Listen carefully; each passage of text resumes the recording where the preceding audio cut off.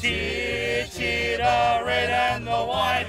Honor the name by day and by night. Lift that noble banner high. Shake down the thunder from the sky. What will the odds be, great or small? Sons will go in and win overall.